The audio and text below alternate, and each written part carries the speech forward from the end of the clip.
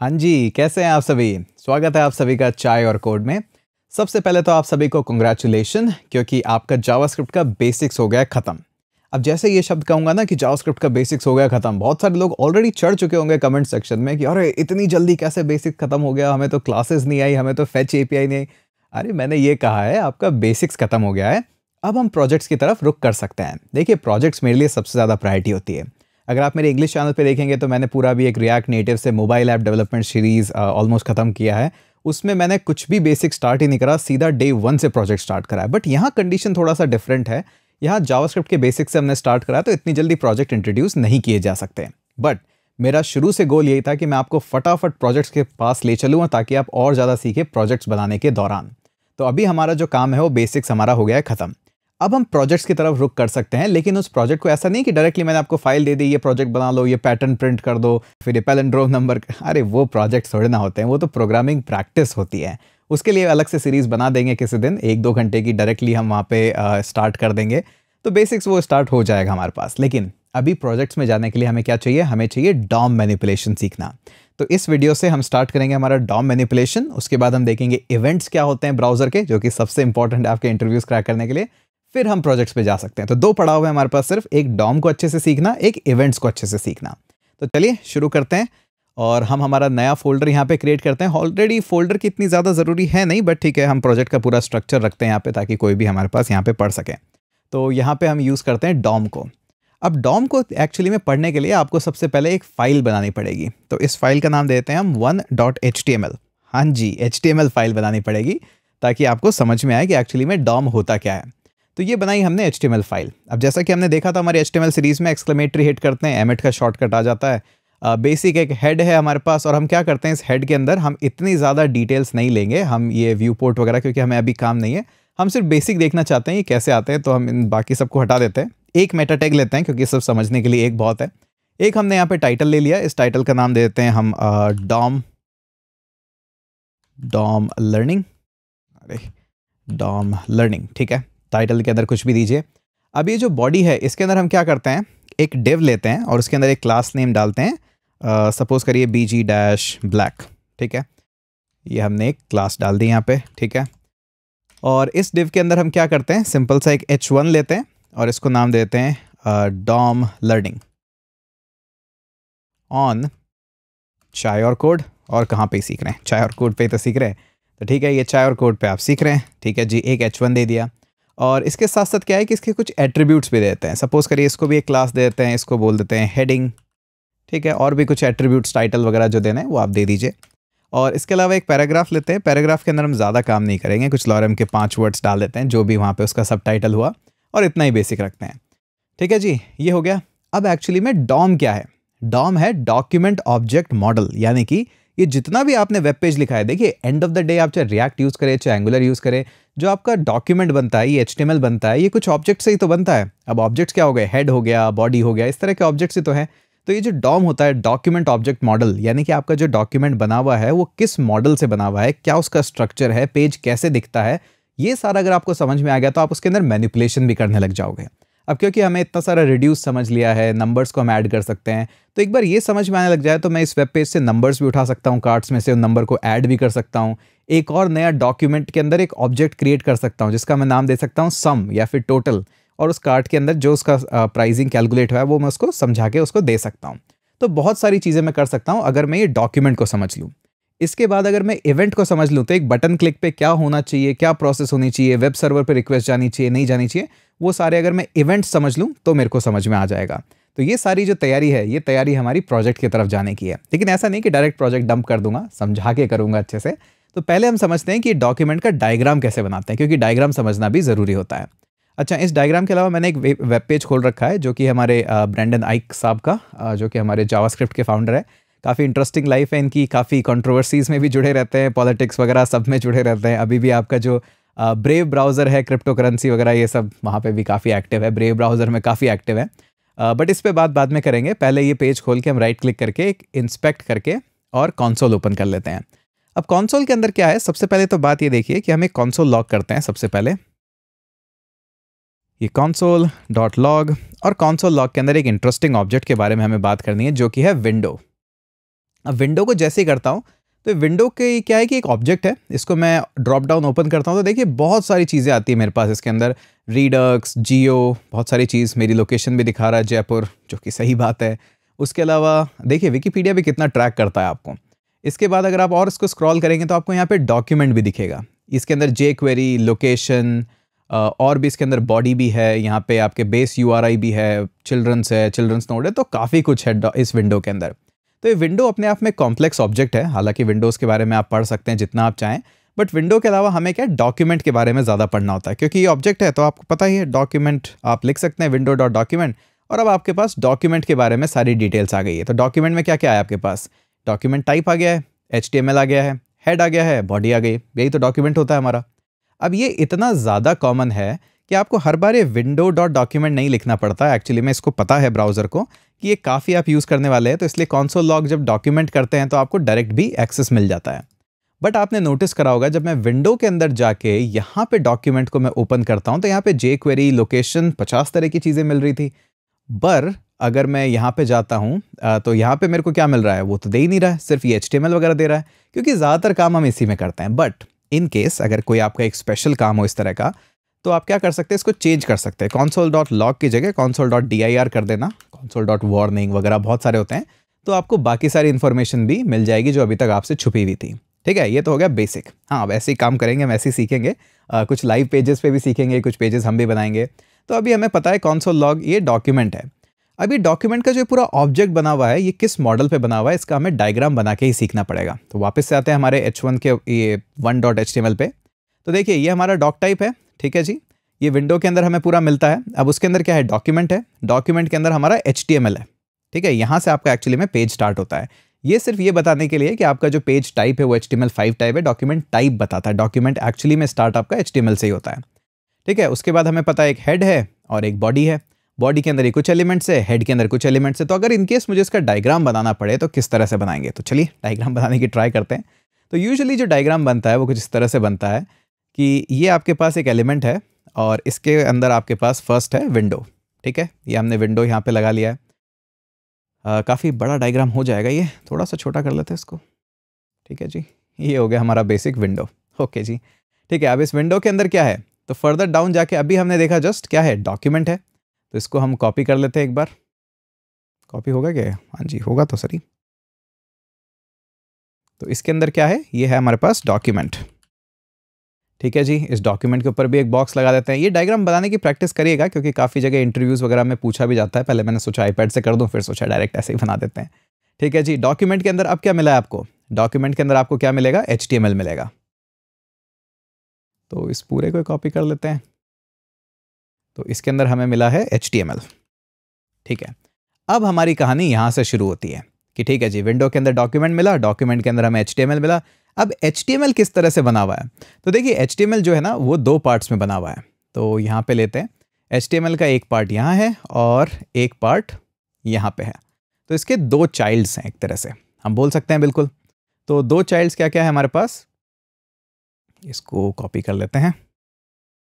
एक चाइल्ड यहाँ पे रख देंगे और एक चाइल्ड यहाँ पे रख देंगे। अब ऑब्वियसली बात है, बहुत ही आसान था। एक चाइल्ड तो हमारे पास हेड है और एक चाइल्ड है बॉडी ठीक है जी हेड और बॉडी दो पार्ट होते हैं। जस्ट अभी देखा हमने कि एच के अंदर हेड है और ये बॉडी है। तो एचटीएमएल के देखा जाए तो दो ही चाइल्ड है। एक हेड है और एक बॉडी है। अब हेड के अंदर हमारे पास क्या क्या वैल्यूज़ है? पहले उसके बारे में चर्चा करते हैं। तो हेड के अंदर इतनी कोई खास हमारे पास है नहीं। हेड के आपके वापस से दो ही पार्ट हैं। एक है बेसिक यहाँ पे इसी को ले लेते हैं। तो एक है ये और एक इसको यहाँ लिख लेते हैं। ज़रूर थोड़ा ना लेफ़्ट राइट लिखना पड़े। ठीक है? तो यहाँ पे हम डायरेक्ट ही टेक्स्ट लिख लेते हैं अब, क्योंकि बॉक्स आपको पता लग गए हैं अब। तो एक है आपके पास टाइटल ठीक है जी? ये आपके पास टाइटल हो गया है। और हेड के अंदर और क्या लिखा है हमने? देख लेते हैं। एक टाइटल और एक ही मेटा टैग लिया है हमने, जस्ट समझने के लिए। एक ही मेटा टैग लिया है। अब फर्दर क्या है? टाइटल के अंदर क्या है आपके पास? इतना ही नहीं है टाइटल के अंदर और भी कहानी है। तो ये हमारा टाइटल है।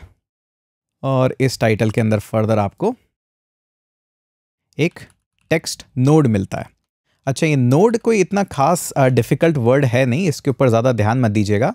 टेक्स्ट नोड का मतलब क्या है? क्योंकि देखिए डॉक्यूमेंट ऑब्जेक्ट मॉडल है तो हर चीज़ को एक नोड बोला जाता है। तो हेड भी अपने आप में एक नोड है बॉडी भी अपने आप में एक नोड है, उसके बाद टाइटल भी एक नोड है और मेटा भी नोड है तो उनको नोड भी बोल दिया जाता है। तो इसी तरह से उसके अंदर एक टेक्स्ट नोड है, यानी कि एक टेक्स्ट वैल्यू आपने ऐड कर रखी है। जैसा कि हमने यहाँ पे देखा टाइटल है, इसके अंदर ये टेक्स्ट नोड है तो ये टेक्स्ट बोला गया है इसको। तो थोड़ा सा हम प्रोग्रामर्स फैंसी वर्ड काफ़ी यूज़ करते हैं तो उसके अंदर ये है। अच्छा अब मेटा जो हमने लिखा है यहाँ पे, इसके अंदर काफ़ी कुछ है। देखिए, ये मेटा जो है, क्या इसके अंदर कोई नोड है? नहीं, इसके अंदर तो कोई नोड ही नहीं है। तो इसके अंदर वैल्यूज़ क्या है? अगर डायग्राम इनकेस इस तरह से आपको लिखना है तो आप क्या कर सकते हैं कि इसके अंदर यहाँ पे ये लीजिए, ये लिख दिया हमने, और इसको बोल दिया कि आपके अंदर क्या है? सिर्फ़ एक एट्रीब्यूट है। तो इस तरह से भी लिखा जाता है। लिखा है ये नहीं लिखिए अब हो सकता है टाइटल के अंदर भी एक एट्रीब्यूट हो सकता था तो हम बोल सकते थे कि इस टाइटल के दो चाइल्ड्स हैं, एक है टेक्स्ट एक एट्रीब्यूट है। अभी बॉडी के अंदर आएँगे, तब आपको और पता लग जाएगा। ठीक है जी? तो अब आते हैं यहाँ पे बॉडी के अंदर। अब बॉडी के अंदर काफ़ी कुछ कारनामा हमने कर रखा है। देखिए, एक डिव है, उसके अंदर एक एच वन है, उसके अंदर एक पैराग्राफ है। ठीक है जी? काफ़ी कुछ है। तो चलिए, बनाते हैं इसका भी डायग्राम तो इसके अंदर हम क्या करते हैं? इसको ले लेते हैं ताकि थोड़ा सा ईजी रहेगा। तो ये हम लेके आए इसको और इसके अंदर बॉडी के अंदर सबसे पहले आपने क्या लिया है? एक डिव लिया है। ठीक है जी? ये डिव लिया हमने और ये एरो भी बना देते हैं। चलिए जी, ये हो गया। अब इस डिव के अंदर कुछ लिख रखा है क्या आपने? हाँ जी, एक क्लास लिख रखा है हमने एट्रीब्यूट दे रखा है इसको। तो ठीक है जी, एक और एट्रीब्यूट यहाँ पे लिख देते हैं। अब ज़रूरी नहीं कि हमेशा नीचे लिखें, आप लेफ़्ट में लिखिए राइट में लिखिए, आपका जहाँ मन करे वहाँ लिखिए। तो सबसे पहले तो इस डिव का क्या है? एक एट्रीब्यूट है। ठीक है जी एट्रीब्यूट हमने लिख दिया, ये लीजिए। अब इस डिव के भी हमारे को पता है दो चाइल्ड है एक है हमारे पास एच वन एक है पैराग्राफ तो ठीक है जी। आ, ये बना देते हैं एक तो यहाँ चाइल्ड लिख देंगे और एक चाइल्ड हम यहाँ लिख देंगे जी। ठीक है जी? तो ये लिख देते हैं हम कि आपका एच वन एक चाइल्ड है यहाँ पे ये लीजिए एच वन काफ़ी बड़ा हो गया। और एक हमने बोल दिया कि आपके पास एक पैराग्राफ है तो ये पैराग्राफ हो गया आपके पास। ठीक है जी? अच्छा अब इसमें भी कुछ आपने कर रखा है क्या? चलिए देखते हैं। एच वन के अंदर आपने एक एट्रीब्यूट दे दिया और एक टेक्स्ट नोट भी दे दिया है आपने। तो हाँ जी, दोनों लिखने पड़ेंगे। तो हम इसको लेते हैं कि एच वन के पास आपके पास एक एट्रीब्यूट यहाँ लिख देते हैं और आपकी जो टेक्स्ट नोड है वो यहाँ लिख देते हैं। तो ये लीजिए, आपके पास एट्रीब्यूट हो गया है तो थोड़ा सा साइड में कर देते हैं और आपके पास क्या है टेक्स्ट नोड भी है तो उसको भी लिख देते हैं। ये लीजिए टेक्स्ट नोड हो गया आपका। अब इनको बॉक्स में आप ऐड कर दीजिएगा, इतना ज़्यादा कोई डिफ़िकल्ट बात है नहीं। पैराग्राफ के अंदर भी ऑलमोस्ट सेम ही कहानी होने वाली है। पैराग्राफ के अंदर एट्रीब्यूट है क्या? नहीं है, सिर्फ़ टेक्स्ट नोड है तो जी, ठीक है? टेक्स्ट नोड कर देते हैं यहाँ पे।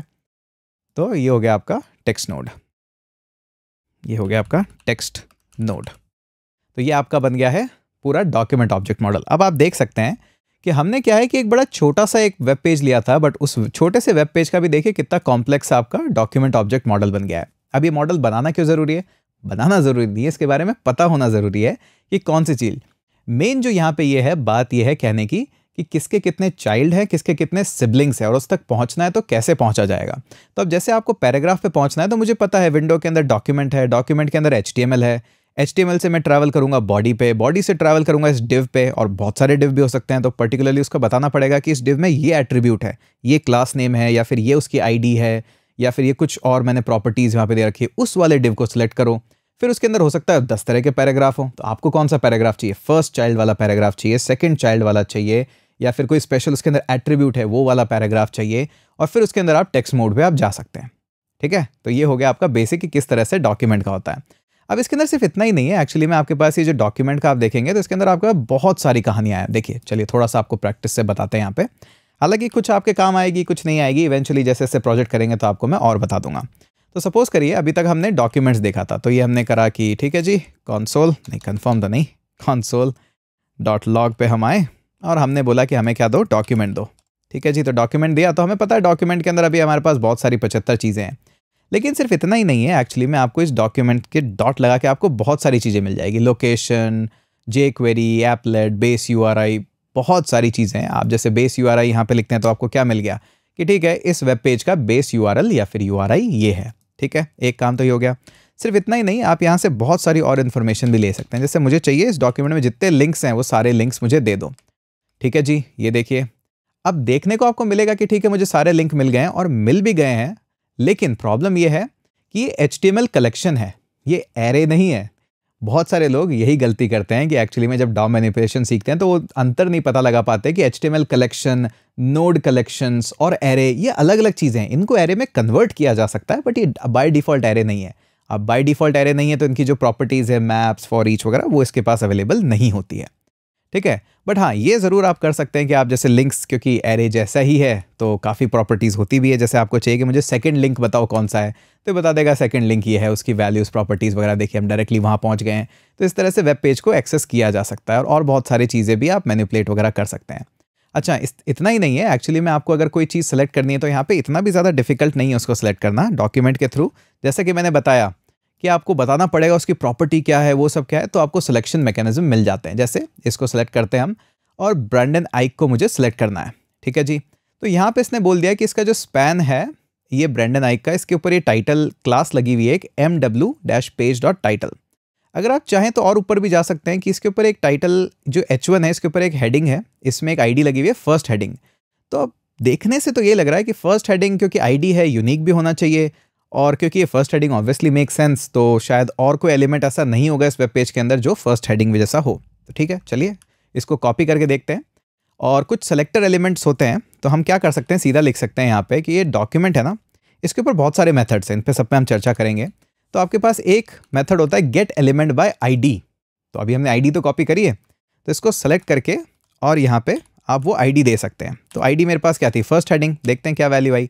अच्छा तो ये फ़र्स्ट पूरा का पूरा एच वन टैग इसने सेलेक्ट करके मुझे दे दिया है यहाँ पे। अब आप चाहें ना तो इसके ऊपर आप मैनिपुलेशन भी कर सकते हैं। अब क्योंकि जैसे मैंने आपको बताया था, उसके अंदर नोट्स होती है तो बहुत सारी और प्रॉपर्टीज़ भी होती है। तो यहाँ पे जैसे आप डॉट लगाएँगे तो आपको बहुत सारे यहाँ पे देख सकते हैं, बहुत सारी चीज़ें आप ब्रेक क्लास ये पचहत्तर चीज़ें आपके पास, बहुत सारी तो बाई डिफ़ॉल्ट अवेलेबल भी है। कुछ जो आपको नहीं अवेलेबल है, आप वो भी यूज़ कर सकते हैं, जो कि मैं आपको बताऊँगा आगे जाके। जैसे सपोज़ करिए, एक यहाँ पे होती है इनर और एच सारा कैप्स में लिखिएगा। ज़रूरी है कंपलसरी है, वरना नहीं चलेगा। ठीक है तो इनर एचटीएमएल को मैं रिप्लेस करना चाह रहा हूँ। तो किससे रिप्लेस करना चाह रहा हूँ? वो वैल्यू आप दे दीजिए। तो सपोज़ करिए मैं उसको देना चाह रहा हूँ कि ये स्ट्रिंग के अंदर वैल्यू ले लीजिए। तो ये लीजिए स्ट्रिंग अब इसके अंदर क्या करिए? ये हमारा ओपनिंग ब्रैकेट और ये क्लोजिंग टैग एच वन ले लेते हैं। वैसे तो काफ़ी बड़ा है एच वन बट ठीक है एच वन हमने ले लिया तो ठीक है। अब एच वन के अंदर देना क्या चाहते हो?